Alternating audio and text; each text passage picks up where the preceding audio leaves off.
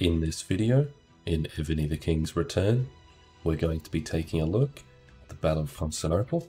I just wanted to mention this guide is going to be more of an introduction to this particular event and just going through rewards, how it works, some of battle mechanics, some of the strategies you can be using. Obviously, there are very advanced rally tactics. Uh, you can create mini hives in Battlefield. There's a lot of different things you can do that's advanced that people would use in the All Stars Battlefield. You can feel free to ask questions down below about some of those if you wanted some more advanced stuff, which I do know, but I'm not necessarily going to be covering this video. It's going to be a long one as is, so adding that stuff in will make it unnecessarily long, especially because most people watching the video are not going to need that information. If you wanted to, feel free to share this with your Alliance members or your server that might need it in order to succeed and to understand it if they're having their first try at the event. And of course, if you're not done it before, or you've only done it a few times, this will be helpful to you. Feel free to skip through the video because I will be starting with how you sign up, the rules and the buildings and a few different things. So if you didn't want that stuff, you wanted to skip over to some other stuff, feel free. Also, in the future, I'll be coming out with a video for the other Battlefield event and a smaller, quicker Battlefield overview that will go very quickly through all the different rules and buildings. But for now, we're going to get into this one. So, first, signing up. To sign up your alliance for an event, you have to go to the event center. Provided that your server is, I think, at least two months old, you'll have these two options here. So we're going to be covering this top one for now. As you can see right now, when I'm recording this video, the next round sign up will open in about 20 hours. Once that timer is up, then I'll get a yellow button here to pick a time. You'll be able to view about five different times in your local date and time. So bear that in mind, it's your local time, it's not server time.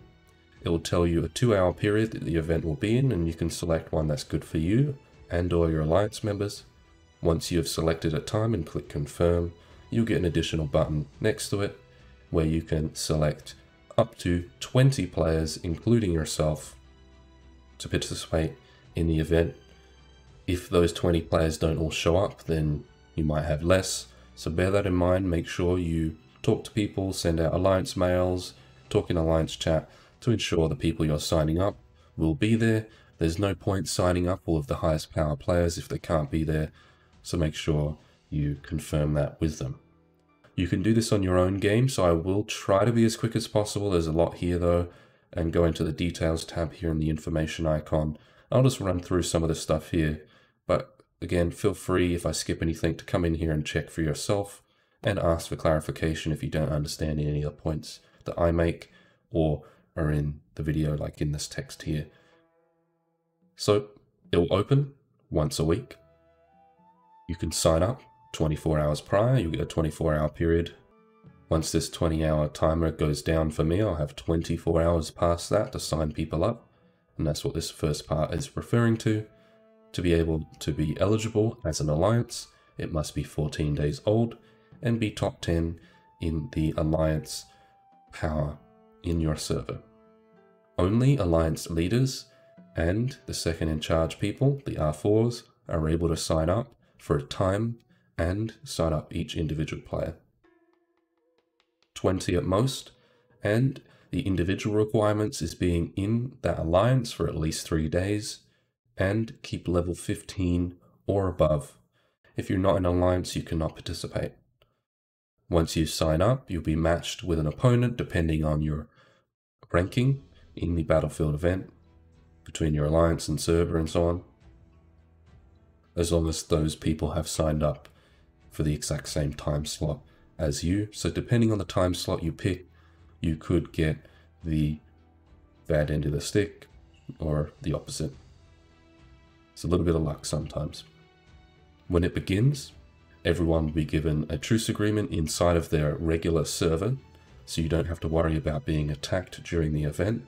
But visually on your screen, you will be teleported to a brand new map that's somewhat similar to the real map. It's obviously square, it has a big building in the middle and a bunch of other buildings that you don't usually see, which we'll get into that are lower down in this detail tab. Players will need to use their own advanced teleport items or gems to teleport around the battlefield. In addition to that, you will need to use an alliance limited number of teleport chances.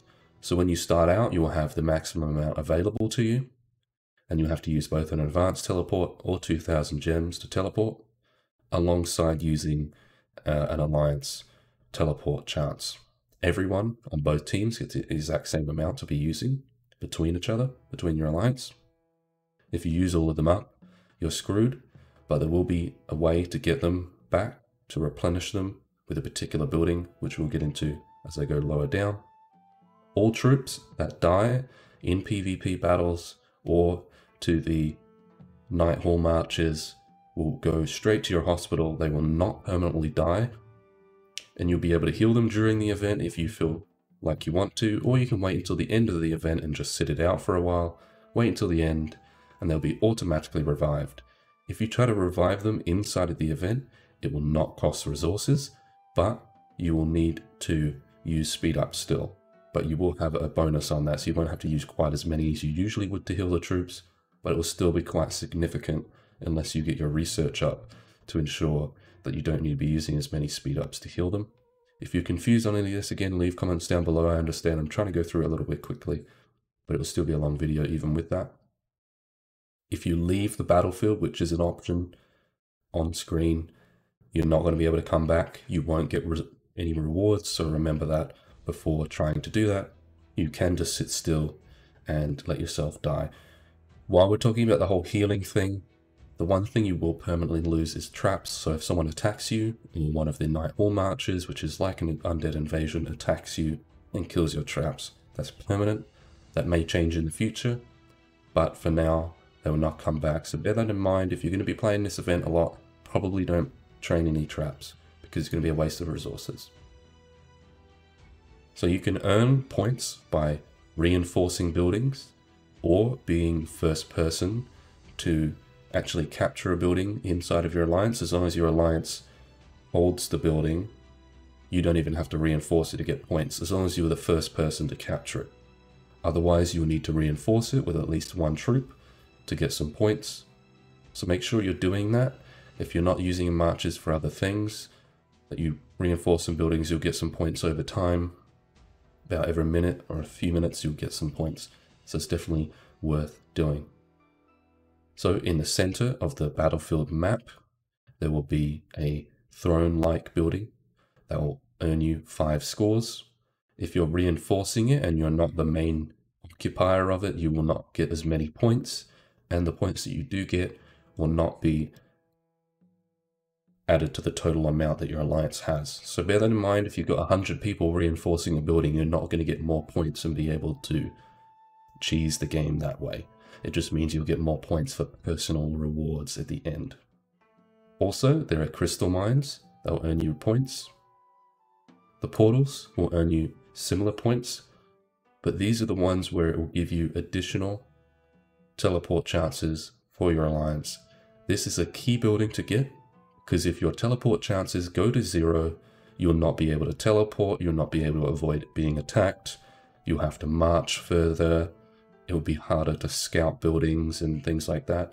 So ensuring that you get at least a couple portals, perhaps even up to the maximum of six, will be great to ensure that not only you keep your alliance teleport chances up, but you try to drive the enemy down to zero so that they're sitting ducks.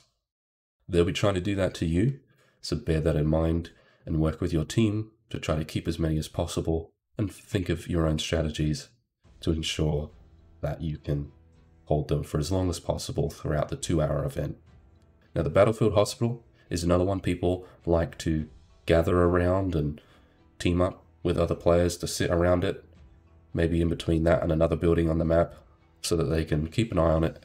That increases the whole alliance healing speed. So if you are an alliance that has a lot of speed ups, it's probably on an older server below 200 keeping the battlefield hospital is going to be great because you might want to be healing a lot of troops. To keep yourself in the fight. Now the Blessing Towers will increase the attack and defense, so that's going to be great to keep as well. The points aren't too amazing, but keeping them for the additional attack and defense is great. Another key one that people love to get other than the portals is the Knight's Hall. Now this is similar to sending out undead invasions to your enemies every three minutes.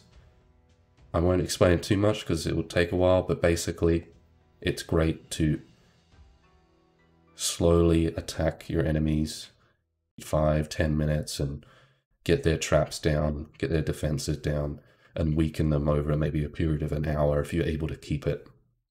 This is another building that you'll find a lot of big players will group around and fight each other and fight over the building for some time.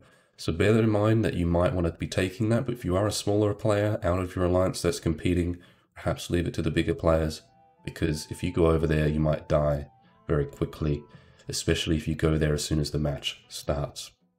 Killing scores won't really get into that, but basically, depending on the tier of troop you kill, you'll get more points, um, although obviously they're harder to kill as you go up, but you don't really need to worry about that too much.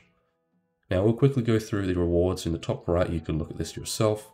Depending on your personal scores, you'll get a range of badges, gems, resources, speed ups, gold, and runestone chests. And as you go down in the points, you'll get less. Badges are important for wonder levels and a few other things. Very important thing to get. That's why they're a key thing to be getting from these events. That's for a victory. If you lose, you'll also get the same rewards in a lesser denomination though. So bear that in mind. Winning is definitely very good to be getting as many badges as possible. There's not really any other ways to get them. So make sure you keep going after them through that. Also in this tab, if you wanted to, you can look at the top leaderboards. You can look at other things as well in there. Now, if people don't already know, mounted will kill ground troops, ground troops kill ranged, and ranged kill mounted, and siege are kind of middle of the road. They can kill everything, but they're kind of weak. With that, we're just going to go into the March presets of the rally spot. So this is something people tend to forget to do, or at least check it. Even if you already have these, check it. So get a nice range general at the very least, like this one, or check out my other videos on my channel for that. Tick on all of your subordinate cities, which we'll get into that a little bit more as well. Make sure you're setting a bit of ground and cavalry in your preset here. A lot of archers, you know, a lot of siege. Don't necessarily copy what I'm doing. I have a mismatch of things because I'm not really building troops right now. I'm just building my keep level. But feel free to do it in a similar way you can. If you have a larger march size, obviously, take advantage of that as well. And you can layer in like a thousand of every single tier of every single troop type, which I haven't done just because my march size is kind of low. But you can absolutely do that. Like I've started to do it with some of these with only a couple of thousand of each. The reason I have low amounts of these ones is just because if I send a lot of them, they're just going to go and suicide themselves before the archers can even kill anything. Also, if you are a larger player, absolutely feel free to start new presets with a ground general. Mine's not really built up here. You probably going to want at least a one or two million ground general. And you can do the opposite, but just kind of with ground troops. You know, a few archers, a few cavalry, and so on. I will be doing future videos on that type of thing, but you can just stick to the range marches for now if that's all you're capable of doing. Personally, that's all I'm capable of doing right now, so I'm not really covering that stuff. So make sure you have those presets. Make sure you check your general gear, refine skill books to ensure it's what you expect it to be. Using my other videos if you need for that kind of information or ask down below. Also, in addition to checking that, you're going to want to change your monarch gear. So in the top left, you can create monarch gear combinations. You can create infinite as far as I'm aware. I currently have this one here, so if I was to put the healing one on and then just change to the archer one, I have archer, staff, grail, decoration, and a healing crown for if I want to heal troops mid-battle. So that means I'm fully set up to increase my range stats as much as possible, and in the bottom left, a march speed increase you could do mats. Size, probably not load, but mat size if you wanted instead of the mat speed. Make sure you have these set up and if you are trying to use different troop types at different times, to defeat different marches that the enemies have, feel free to have one like for ground, siege, etc. And switch between them. Make sure that you're using duties as well to increase your hospital's capacity, well, not capacity, but healing speed and other things you can check out in my duties video or ask down below if you wanted any advice on how to use those. Also, subordinate cities, make sure your debuff generals are assigned to these. For instance, Cixi, Nero, Andrew Jackson. I will have a future video in the next week or two um, for subordinate city generals. And you can also check out my best generals video currently to find out some of these other ones as well. Also, you can tick on all of these subs to make sure when you're defending your own city that they will fight for you. I think they might anyway, but tick them on and when the battle is over, make sure you tick them off so when you're back in your main server, that no one's going to attack you through your subordinate cities. Before we get into exactly how the event works and ghosting and things like that, I just wanted to mention that you need to take it slow. It's a two hour event and you don't need to worry about getting points right now.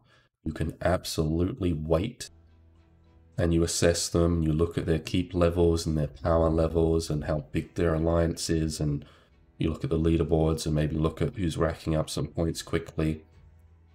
Maybe scout a few of them, check out what they're doing, how they're playing, what buildings they are trying to get quickly. Take that into account and play the long game. If you try to win in the first 30 minutes, you may regret it. So take your time, take it slow because a lot of people rush and want to get kills. For instance, a lot of people will use mounted troops to go sit inside of a building. If your enemy does that, you need to exploit that. If they're the largest player on the entire battlefield, including in your own alliance, so you can't defeat them very easily, team up with your teammates, do an alliance rally with a lot of range troops, not only range troops, but a lot of them, to defeat that cavalry. Although obviously do the due diligence in researching, okay, can we actually defeat that march and avoid it if you really have to. But if you can find a dumb march that someone has, or maybe even inside of their city, they have left a million mounted or something, feel free to attack them. Always check your reports and scout a lot, and we'll get into that in a little bit as we play some of the footage from some of my previous Battlefield events. Just before we get into that, I'll show you how you enter. So if the event was on, you'll get a little red icon above this building right here. You would click it, depending on the battlefield you're in. For instance, for this one, it's going to be the Constantinople. Click it, and you'll have a little enter battlefield button. Alternatively, I think you can do it from the event center. And in this clip here, you can actually see this in action with me going to the enter battlefield button. And you'll see that I'm teleported into the safe zone for my alliance. You can see the timer in the top there. Once that goes down to 1 hour and 55 minutes, then I'll no longer be protected.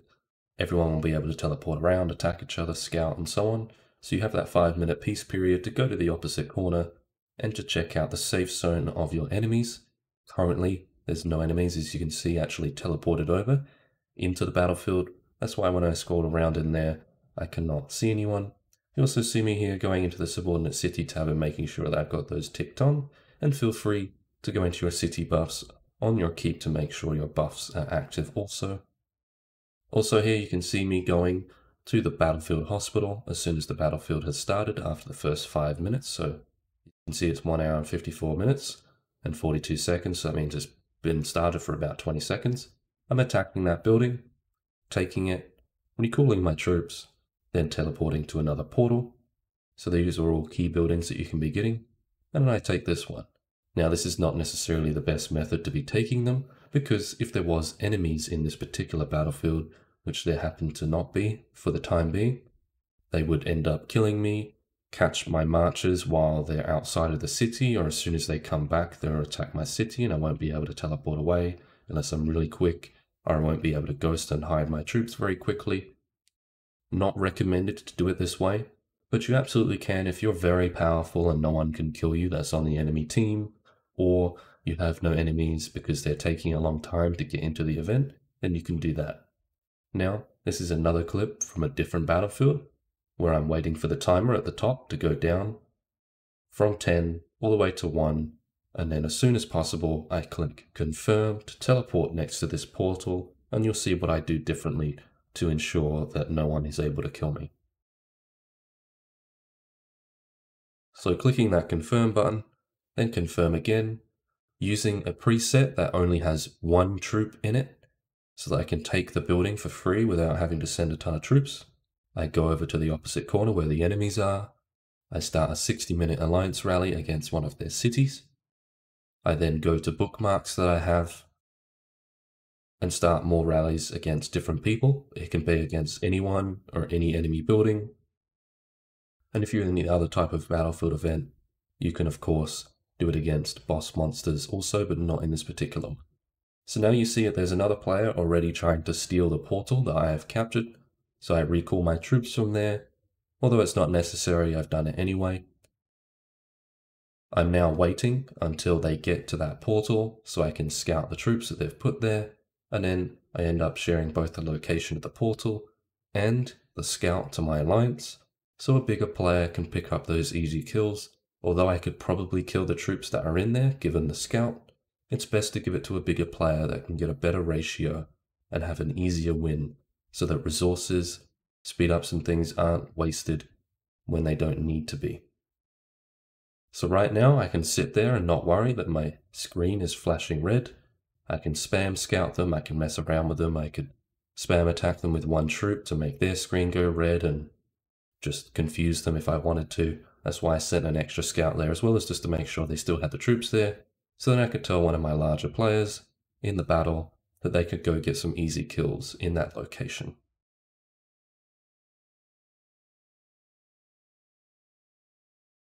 I'm just checking what that other player's doing. That's always something worthwhile doing.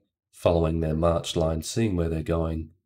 Also, make sure you aren't doing what this person's doing, just sending large marches to multiple buildings and taking their time. Um, because if you do that, you're actually going to be caught out quite a lot. And I do that often to people where they have very slow marches going in and out of their city. And it makes it easy to kill them in a lot of different ways.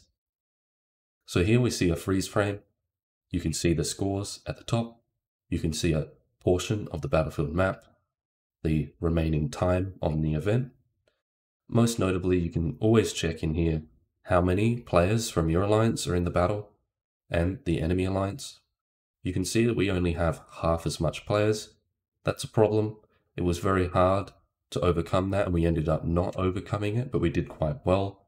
But that does mean that the teleport chances is quite low for us but they're maxed out because they have an easier ability to keep those portals because they have more people that can stay stationary on these buildings without having to move to other areas.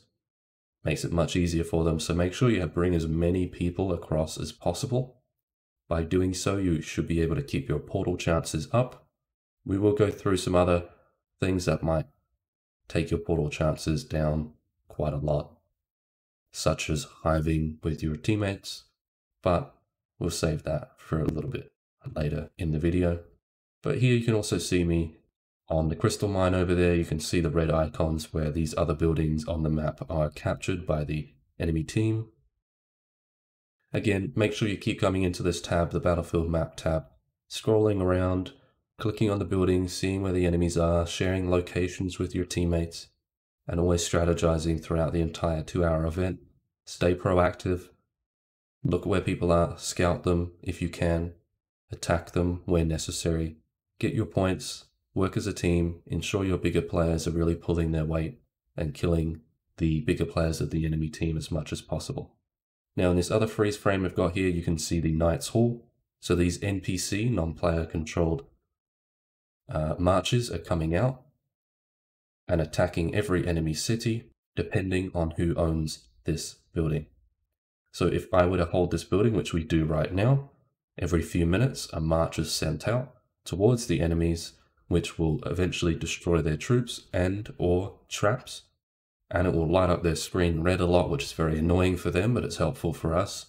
And that's a very good building to be keeping, And you can also follow the march lines that you see to your enemy cities. As long as you hold the building, you can always follow it to them, which is going to be the easiest way to find out where everyone is, especially if they aren't on the buildings. But always be careful of putting too many troops in this because it does get rallied quite often by players. Now in this other freeze frame, we're just going to be showing you me force teleporting someone. Now the reason I'm doing this at that particular time is because this person keeps spam, scouting, and attacking the portal that I'm trying to hold. I'm too small of a player in this particular battle to be trying to hold that portal as well as have troops inside of my city to make sure that I don't get sneak attacked when I try to recall my marches and so I'm only taking the portal with a few troops, you know, 10,000 at most, you know, probably archers usually. And this player keeps training just enough or healing just enough to kill me and take me off of it or force me to recall my troops. Basically, they're trolling me. So to stop them from doing that, or at least to make them waste teleports, I am going to force teleport them. Technically, you have to attack them 10 times, but for just this clip, you're only going to see me attacking them one time and then they will be force teleported away. This is always something you can do, and you can also do what he's doing as well to force someone into doing that, which is a little bit dangerous because if you get caught out while you're trying to force teleport someone, you could lose troops as well if a bigger player teleports next to you. So make sure you're careful. But you can absolutely do what this guy's doing by trolling people with spam attacks and keep taking the buildings back with very limited troops, like one troop. Um, so here you can see me using a good march against him just in case he still had troops inside of his city. But you can absolutely scout him first before attacking if you wanted to make sure. And then you see his city disappearing, me sending one troop through a preset to the portal to make it easier to get that. And now I'm just going through some reports to check out what was going on between the defenses on things, some attacks, they weren't all the best necessarily because I was messing around a little bit, but that was fine. And then I start to realize that there's not very long left in the battle.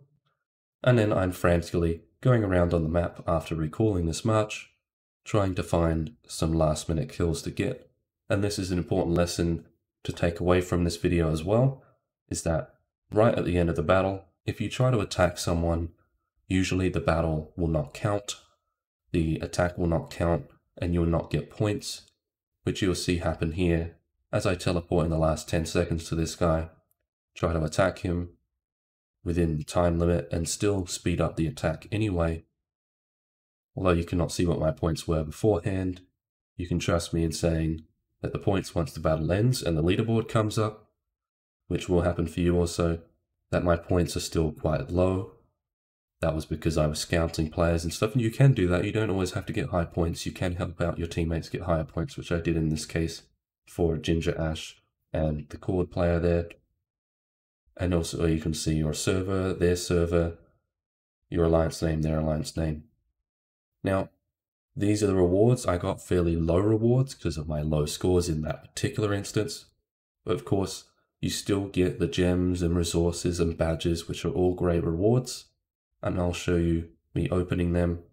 And also you can get score rewards that include resources. They go straight to your open inventory, like not into your items section. So make sure that your food doesn't disappear when that happens. And I'll just let this play with me opening the resource chests, gem chests, and so on.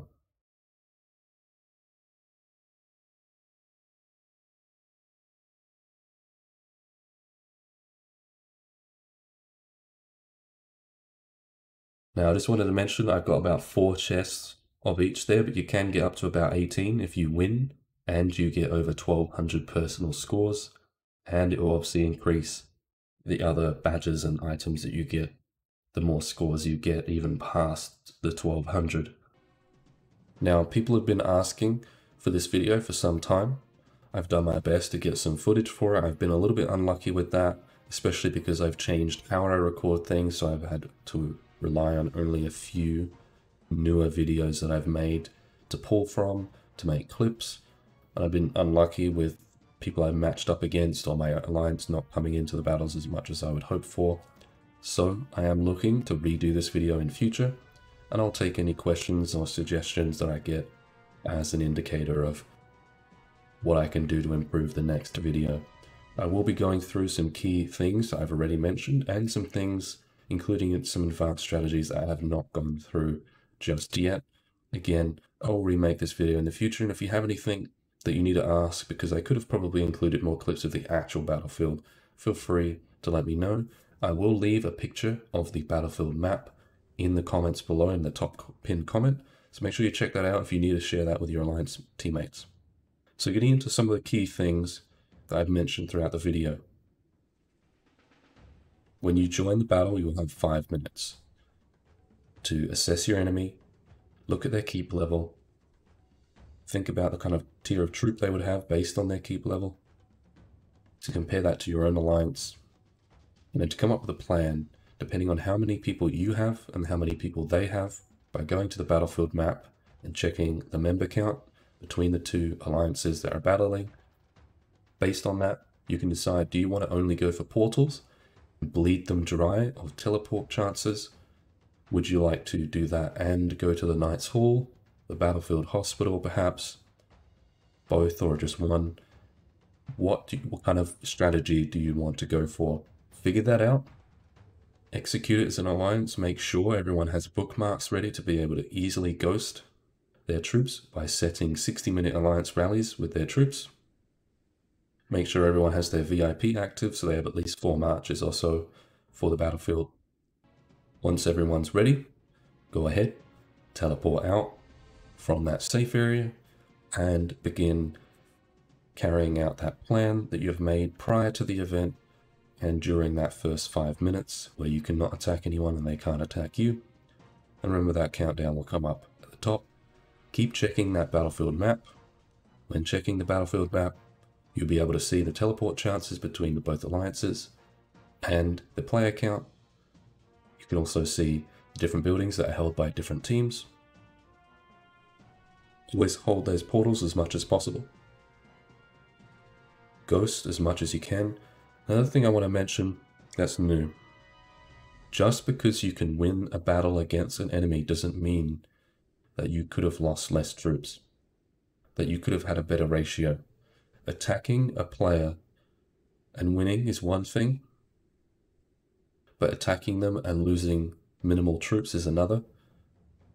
So make sure you really take your time, you scout you make sure you're setting the best march, and where possible, group up with your teammates by teleporting near or right next to each other, and set a very quick rally against the player, ensuring you speed your marches to the player that set the rally, that you preemptively start the rally by spending 1000 gems to do so, and then you speed the rally to the enemy to ensure they do not recall or teleport or ghost or anything like that, they still may do that, so bear that in mind. But that's going to be your best opportunity to increase the ratios that you're getting, which may matter. If you can have one player not needing to heal their troops the entire battle and get a thousand plus points, that's fantastic. And that's what you're looking for. Don't play the game as if it's only going to last for 30 minutes. It's two hours. Take your time, scout, and if you have your troops die, make sure that all of your players are scouting, are spamming your enemy with rallies and one troops and sending one troop to random buildings. And don't teleport around, don't waste the teleport chances necessarily, but just troll the enemy team, light up their game with red screen flashes and things like that. It's not going to work against the more advanced teams that know exactly what you're doing and don't care and just ignore it. But it's still a good strategy for those players already knocked out and don't want to heal their troops with their speed ups. You can absolutely do that. Now, Alliance Chat is your friend. So alongside doing those other things, always be sharing your scout reports, attack reports, defense reports, so players can see the stats of the enemy, can understand where they stand in the battle. Can they take on any of the enemies? Is there certain ones they shouldn't try to attack? Is there certain ones they should try to get to attack them. Always try to play the defensive where possible. You're going to have an advantage there, a home advantage. Of course, you can get reinforcements from your teammates. Team play is absolutely necessary. That's how in some previous battlefields I've had significantly less players on my team than the enemy team, and we've still done pretty well given the power discrepancy and the player discrepancy. Another thing I want to mention, when we looked at that clip of the Knight's Hall all those marches going out, remember to follow the lines. If you own the Knight's Hall, follow the lines to the enemies and you'll find all of their cities if you can't find them just by clicking around on the map to all the buildings, which I do regularly, clicking around on the map, trying to find people, see what they're doing, see what they're scouting, where their troops are, Now, a couple of more advanced strategies, not necessarily super secret or anything, but creating a mini hive, so most of your players, potentially even all of your players, coming into one location, teleporting right next to each other near the battlefield hospital or the Knight's Hall, grouping up, if necessary, reinforcing each other, or using that close proximity to easily set rallies against an enemy and send it to them and speed it up. That means that you're creating a very big powerhouse of power, all very close to each other, makes things easy. This is exactly what the larger players in All Stars Battlefield do.